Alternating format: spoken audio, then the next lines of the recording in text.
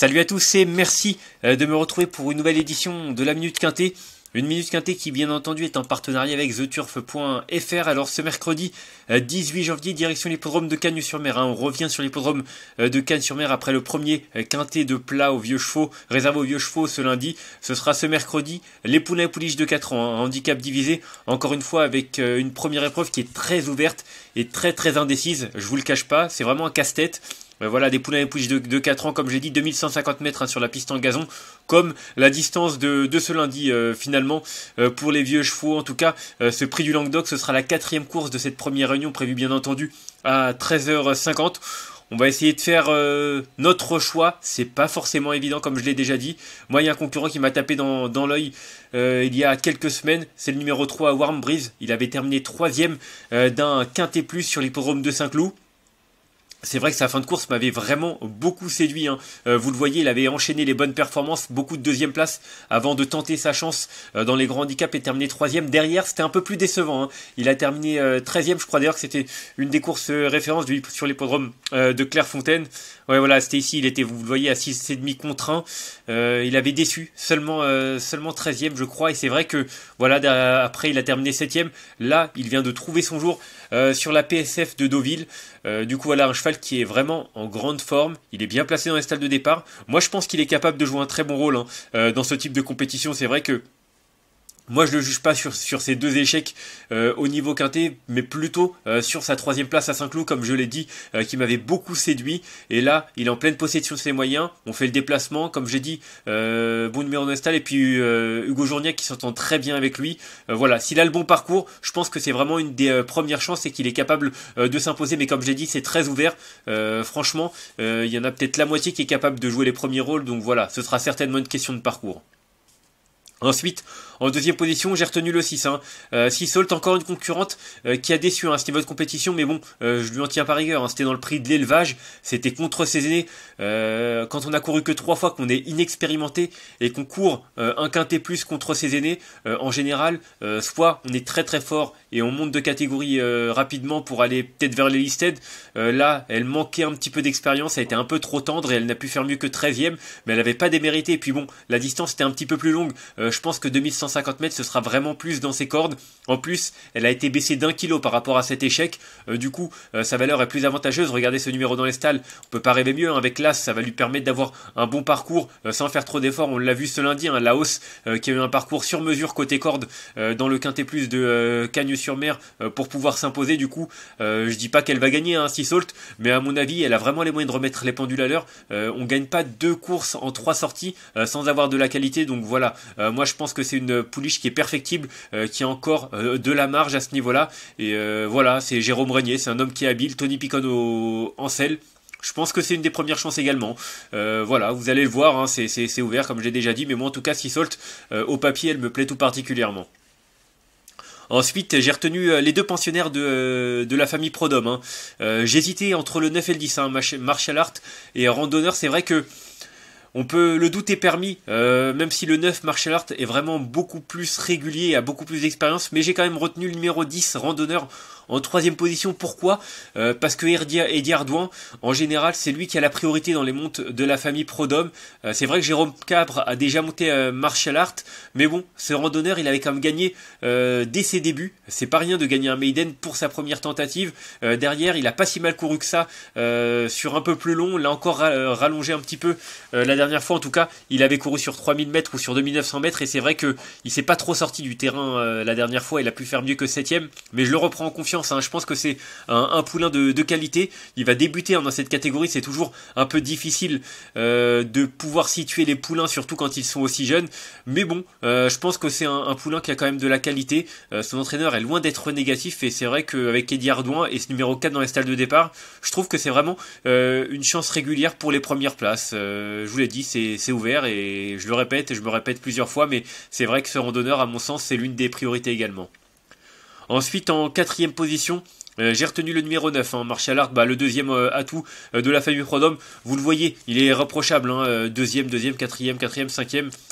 Il fait toutes ses courses. il est bien placé au poids. Jérôme Cabre a déjà eu l'occasion de le monter, bien placé dans les salles de départ. Voilà, les lignes ont l'air assez correctes, hein, j'ai regardé un petit peu. Euh, c'est vrai qu'il fait un peu tout, que ce soit PSF, que ce soit euh, terrain, euh, terrain profond ou pas. Enfin bon, il, est, il a l'air d'être assez polyvalent. Donc voilà, je pense que c'est un bon point d'appui. Moi, je l'ai retenu en quatrième position parce qu'il peut manquer d'expérience dans les handicaps. Mais c'est vrai qu'avant le coup, il, il présente quand même pas mal de garanties. Ensuite, en cinquième position, j'ai retenu le 7, hein, euh, Joe Spirit, encore une pouliche de 4 ans, euh, qui n'a pas si mal couru que ça. Hein. La dernière fois, elle n'est que cinquième, mais c'était euh, pas si mal. Hein. C'était ici le, 10 novembre, elle a repris de la fraîcheur. Hein. C'est vrai qu'elle elle court rapprochée à chaque fois. Elle avait couru euh, il y a quelques, quelques jours de cela, avant cette tentative. du coup, peut-être qu'elle était un petit peu défraîchie. En tout cas, son entraîneur est loin d'être négatif. lui aussi, ça fait partie de son programme, a priori, cette, cette compétition. elle a couru déjà euh, dans, un handicap, elle l'a remporté. Son seul handicap, elle s'est imposée. Donc euh, voilà, c'est un peu difficile de savoir si elle dispose de beaucoup de marge. Euh, mais je pense que c'est une pouliche qui a, encore pas mal de, choses à faire. Et malgré ce, malgré le fait qu'elle affronte les mâles et que le lot est quand même assez ouvert, je pense qu'elle est capable elle aussi de réaliser une performance de choix. Ensuite, en sixième position, j'ai retenu le 2, un Night Hab. Alors Night Hab, vous le voyez, il est impressionnant hein, ces derniers temps. C'est vrai que euh, il a vraiment progressé depuis qu'on lui met les œillères. Euh, c'est simple, il n'a fini que deuxième ou premier. Il a remporté d'ailleurs deux handicaps euh, depuis le port de. Voilà, maintenant sa, sa valeur est bien plus élevée. C'est un peu difficile hein, de savoir ce dont il est capable en 37,5 maintenant. Mais bon, on fait appel à Christophe Soumillon. Une nouvelle fois, on lui met les œillères. Voilà, c'est vrai que c'est des poulains des pouliches de 4 ans dont les limites sont parfois inconnues. Et c'est vrai que ce Night Hab, je sais pas de quoi il est capable, mais c'est vrai que vu la forme qu'il tient actuellement et l'appel à Christophe Soumillon, on est en mesure de penser qu'il a quand même une belle carte à jouer, euh, même s'il faudra certainement qu'il ait un bon parcours parce qu'il a moins de marge que par le passé.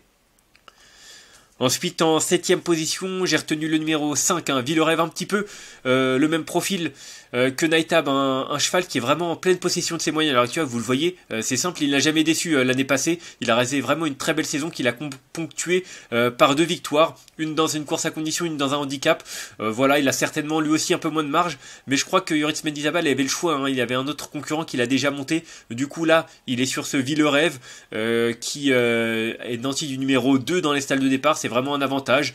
Voilà, c'est une des nombreuses possibilités, il faut faire des choix. Euh, c'est vrai que je me suis peut-être orienté un peu plus vers les concurrents euh, qui sont le mieux placés côté corde parce que j'ai vu que euh, dans le quintet de lundi, au final, on avait Hilarante qui avait un très mauvais numéro dans les stalles. Il a repris son partenaire et derrière, il finit 9ème, elle finit bien, mais c'était difficile de revenir. Du coup, je me dis que ça va être compliqué euh, avec les mauvais numéros de cordes euh, de pouvoir jouer un rôle très intéressant et c'est vrai que ce Villerève, euh, peut-être qu'il a moins de marge, mais il aura cet avantage-là de pouvoir peut-être bénéficier d'un parcours beaucoup plus favorable que des concurrents d'une valeur similaire et qui vont peut-être être un peu moins avantagés par les cordes. Ensuite, en septième position, euh, en huitième position, pardon, euh, j'ai retenu le numéro 14, euh, hein, Royal Monarch. Alors Royal Monarch, il a une ligne intéressante. Hein. on va la retrouver. voilà, il battait Joe Spirit que j'ai retenu devant. il, battait Joe Spirit avec un avantage, en, en, étant désavantagé au poids. Du coup là, il est avantagé au poids, donc l'un dans l'autre. Il a vraiment une situation qui est favorable en bas de tableau. Maintenant, comme je l'ai dit, c'est une course qui est très ouverte. Celui-là aussi, il n'y a pas beaucoup d'expérience. On fait quand même appel à Christiane Desmureaux. Voilà, la forme est là, il reste sur une troisième place du côté de, Vivo. Euh, c'est ouvert, comme j'ai déjà dit, et c'est vrai que euh, ce numéro 14, Royal Monarch, euh, c'est une des possibilités, comme 10 ou 12 concurrents qui peuvent jouer les premiers rôles. Lui a tout à fait le droit de, terminer 4-5e, comme de terminer même sur le podium si ça se passe bien. Et enfin, en cas de nous partons, j'ai retenu le 4, un Heliopolis. Ben voilà, je vous l'ai dit, un mauvais numéro de corde, c'est un cheval qui est en forme, qui a aussi des lignes hein, avec, avec Joe, Joe Spirit. Euh, voilà, c'était ici. Hein. il, est, battu. Il était nettement battu d'ailleurs par Joe Spirit le 22 novembre euh, lors de leur dernière sortie commune. Mais bon, c'est un cheval qui a depuis euh, couru deux fois, qui a montré qu'il était en grande forme actuellement. Patrice Cotier, on connaît, c'est un entraîneur qui est quand même assez habile. Donc voilà, je, l'ai retenu en regret. Hein. c'est mon neuvième cheval. J'aurais pu en retenir d'autres, mais voilà, ce sera lui mon regret. On va faire un petit récapitulatif euh, de ma sélection avec euh, le numéro 3 euh, Warm Breeze devant le numéro 6 Sea Salt, le numéro 10 Randonneur, le 9 Marshall Hort, le numéro 7 Joe Spirit, en 6 position le numéro 2 Night Ab, en 7 position le numéro 5 Villerève et en huitième choix ce sera le numéro 14 Royal Monarch et enfin en cas de partant le numéro 4 Heliopolis. En conseil de jeu, bah, j'ai retenu 3-6-10 en tête. Euh, je peux pas vous garantir que ce soit les meilleures chances parce qu'il y en a beaucoup qui détiennent une chance similaire, c'est très homogène, mais bon, Warm Breeze, moi je l'aime beaucoup. le 6-6 Salt, à mon avis, est capable de très bien faire à ce niveau de compétition. Et puis le 10 Randonneur, c'est un pool imperfectible qui a certainement un bel avenir à ce niveau de compétition. On va faire un petit point sur le quintet également de ce lundi. C'était à Marseille, bah justement on reste. Euh, c'était à Cagnes, pardon, c'était le prix de Marseille euh, avec euh, la même distance de 1150 mètres. Le 6 Laos, comme je l'ai dit, qui s'est imposé devant le 12 Craps. Le 10, Le Petit Prince a dit. Le 3, Sweet Victory. Et le 9, euh, Woodwinker. Les favoris qui, dans l'ensemble, ont répondu présent. Du coup, voilà, nos deux rubriques un top prono et sélection qui vous indique euh, tiercé écarté. Également le quintet hein, pour top prono qui rapporte plus de 100 euros euh, dans le désordre. Également quelques trios de la part de nos deux rubriques. Une journée assez correcte hein, dans l'ensemble. Avec voilà une, deux rubriques qui sont testables à partir de 1 euro par mois. C'est l'offre découverte. c'est le premier mois et c'est sans engagement. Moi, je vous remercie d'avoir suivi cette nouvelle édition euh, de la Minute Quintée. Si vous avez aimé cette vidéo, n'hésitez pas à la liker, à la partager ou encore à vous abonner à notre chaîne YouTube en cochant la petite cloche. Vous pouvez également laisser votre pronostic en commentaire, il y a un tirage au sort parmi tous les commentaires chaque mois avec à gagner 6 euh, mois d'abonnement VIP au site turf-fr.com. Moi je vous retrouve demain, ce sera avec les trotteurs je crois, euh, du côté de Vincennes. D'ici là, je vous souhaite de bons jeux à tous, bye bye.